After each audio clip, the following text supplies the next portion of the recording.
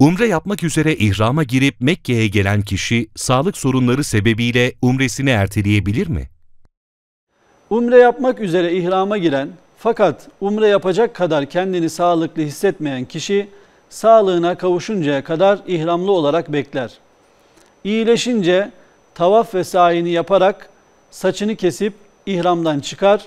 Tavaf ve sayini ertelemesinden ötürü de bir ceza gerekmez.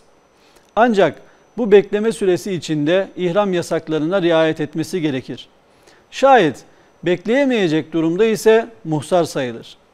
Harem bölgesinde bir kurban kestirerek ihramdan çıkar, iyileşmesi ve imkan bulması halinde tamamlayamadığı bu umresini kaza eder. Tavaf veya saydan herhangi biri yapılmadan umre tamam olur mu? Tavaf, İslam alimlerinin tamamına göre umrenin farzıdır. Bir ibadetin farzı terk edilince o ibadet batıl olur. Yeniden yapılması gerekir. Sağ ise Hanefi mezhebine göre umrenin vacibidir. Meşru bir mazeret olmadan terk edilirse dem gerekir.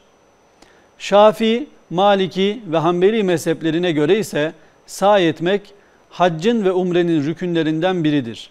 Sağ yapılmazsa hac ve umre geçerli olmaz.